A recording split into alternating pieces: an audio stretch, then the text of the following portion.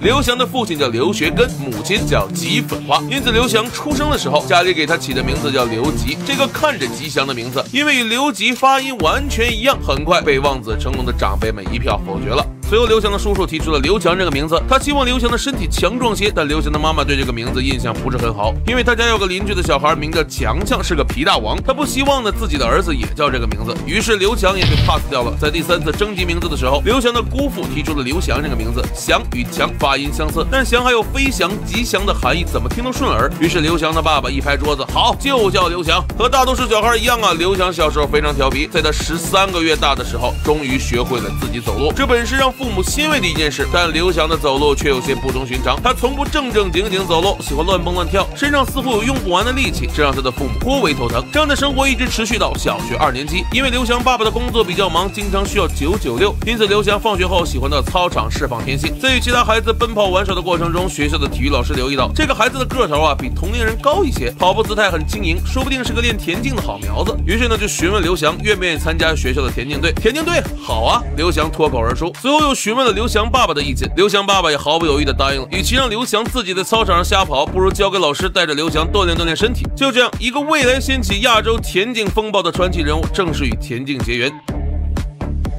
刘翔刚开始接触田径的时候，主项练的是跳高，他的教练想把他培养成下一个朱建华。然而在体校一次六十米的比赛中，被拉过去凑人数的刘翔竟然轻松跑赢了所有短跑组的选手，这可把刘翔给得意坏了。他似乎天生啊就是为短跑而生。那时候体校里的风气并不好，高年级欺负低年级时有发生。刘翔是队里年龄最小的，被欺负成了家常便饭，以至于他曾一度退出体校。直到遇到孙海平教练，刘翔才算正式开始跨栏训练。孙海平教练呢，不仅对刘翔的训练极为用心，生活上也是。无微不至，他对刘翔做了膝盖手术，彻底解决了刘翔的膝伤，还为刘翔精心挑选了室友，不让他受到欺负。刘翔也因此将教练视为自己的父亲一般。在一次国外的比赛中，美国一位颇有名气的教练看上了刘翔的天赋，他对刘翔说：“跟着我后面练吧，我保证能提高你的成绩。”刘翔笑了笑说道：“我有自己的中国教练，我认为他的训练方法更适合我。”这绝对不是刘翔的客套话。二零零四年，日本一支青年跨栏队到中国交流学习，他们对孙海平的训练体系大加赞赏，临行前开出了一百万日元的天价报酬。邀请孙海平到日本给他们上一课，但孙海平教练果断的拒绝了，因为雅典奥运会就要来了，除了保证刘翔的训练之外，其他的事情一概不考虑。有人说是刘翔成就了孙海平，但如果没有孙海平，刘翔还能一飞冲天吗？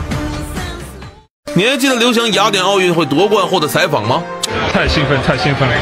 谁说黄黄种人不可以拿到奥运会前八？我今天一定要证明给给大家看，我是奥运会冠军。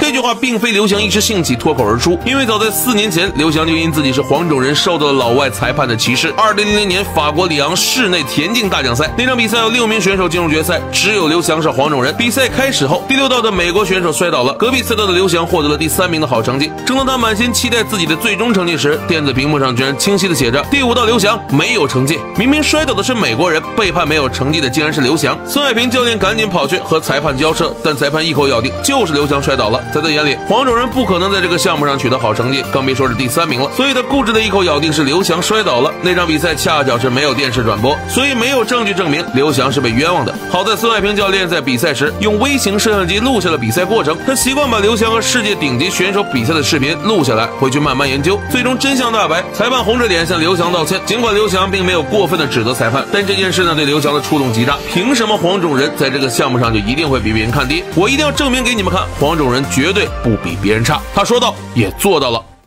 刘翔小时候喜欢看动画片《七龙珠》，里面的主角孙悟空遇到过无数对手，但最后都成了他的朋友。这一点对刘翔影响极大。在刘翔职业生涯早期，他将同门师兄陈彦浩作为超越的对象。陈彦浩在当时是当之无愧的跨栏王，称霸亚洲跨栏长达六年之久，想要战胜他绝非易事。陈彦浩是孙海平教练一手带大的，但成名之后，他却离开了孙海平，自己重新找了位教练。孙海平教练为此伤心了很久。刘翔也因此迫切想要战胜陈彦浩，为师傅出一口气。时间来到二零零一年。广州全运会，十八岁的刘翔终于等来了和陈彦浩正面交锋这一天。尽管在此前上海站的比赛中他已经战胜过陈彦浩，但显然全运会的舞台更具说服力。随着比赛的发令枪响起，刘翔和陈彦浩几乎同一时间冲了出去，前三个栏两人不分伯仲，谁的气场更加强大，谁将笑到最后。比赛后五十米，他们已经遥遥领先其他选手三个身位。最后两个栏，刘翔超了出来，十三秒三六，刘翔夺得了自己的第一枚全运会金牌，他超越了陈彦浩，完成了自己职业。生涯的第一个小目标。同年，他还在世界大学生运动会上夺得金牌，这也是刘翔职业生涯的第一个世界冠军。也是从这一年开始，刘翔的目光不再局限在国内，甚至亚洲，他有了新的挑战目标——阿兰·约翰逊，男子一百一十米栏王者级别的人物。但亚洲青年挑战世界冠军，谈何容易？整个二零零三年，刘翔和约翰逊大大小小的比赛比了十多场，不出意外，全军覆没。但输的越多，刘翔的信心越足，因为他的成绩从开始的四到五名徘徊，到后来稳定的第二名。刘翔隐隐约约的感觉到，阿兰·约翰逊不再是遥不可及的大山，他甚至觉得自己已经来到了山脚下。接下来要做的就是翻越他。二零零四年五月八号，刘翔终于等来了这一天，他第一次在约翰逊的前面冲过终点。这场胜利给刘翔注入了无穷的信心。他坚信几个月后的雅典奥运会将是他和阿兰·约翰逊决战的时刻。请看下集《决战雅典》。